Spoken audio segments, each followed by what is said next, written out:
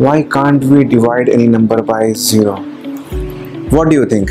Why can't we divide any number by 0?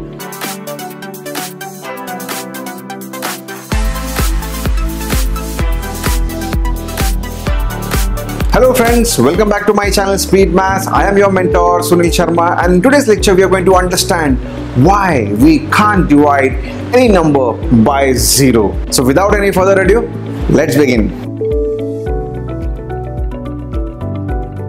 Why can't we divide by 0? Veteran comedian Steven Wright once jokingly said that black holes are where God divided by 0. Since mathematics arose several millennia ago, Man has disputed and reformed many conventions to keep his love affair with math alive.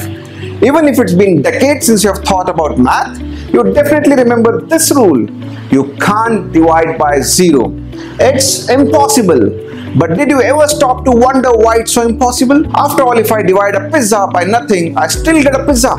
It turns out that when you divide a number by zero, you do get an answer. It's just not a very useful answer, perhaps we can say that we get a completely nonsensical answer. Centuries ago, the square root of negative numbers was believed to be non-existent until mathematician Gerolamo Cardano from Italy in the 16th century introduced the world to complex numbers, a branch of mathematics that entirely hinges on the square root of negative numbers. However, there is one rule yet to be broken, which is division by zero. And if dividing a number by zero is sacrilege, perhaps a cardinal sin, what is the result of zero divided by zero? If someone were to compute it, would the universe immediately begin to collapse in on itself? Let's find out why the operation of dividing by zero is undefined, or to put it more impolitely, nonsense. To think about what you might get if you divided, say, 10 by 0, let's start by dividing 10 by 5. The answer to that is 2. But what if you divided 10 by a small number like 2? You would get a bigger number 5. What about 10 divided by 1? A bigger number still, which is 10. 10 divided by half is 20, divided by 1 by 4 is 40, divided by 1 by 32 is 740. Every time you divide by a smaller number, you get a bigger number in return.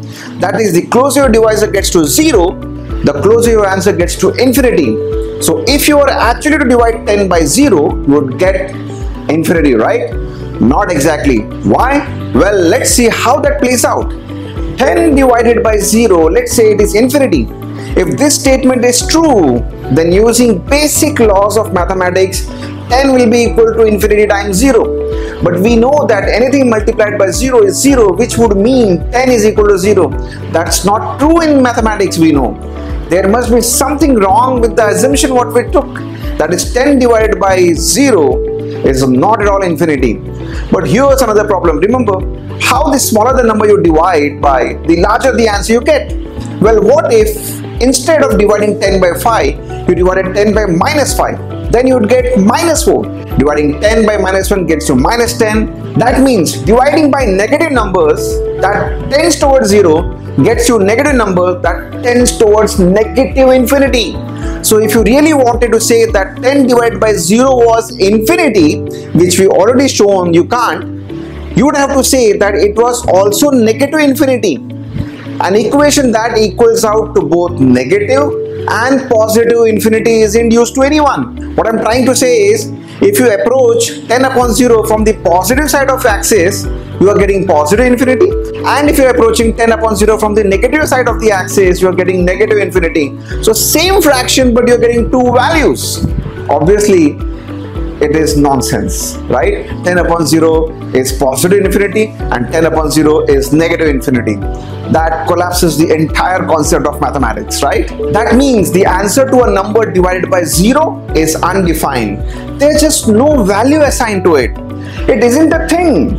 The answer to what's 10 divided by 0 is same as asking what's the sound of one hand clapping and what is the universe expanding into. The question doesn't make sense so the answer doesn't contain any real information. It's undefined. So my dear friends, any number divided by 0 is always written as undefined because mathematicians don't know how to define it. So it is pretty simple. Any number divided by 0 is undefined, as simple as that. Guys, I hope you enjoyed this lecture. If you enjoyed this lecture, do hit that like button. Yaar, ek like to banta Hit that like button. Do subscribe to my channel. I don't want you to miss out any future updates on my channel. Thank you for supporting me. Stay tuned for my next one. Till then, God bless. Take care. Peace.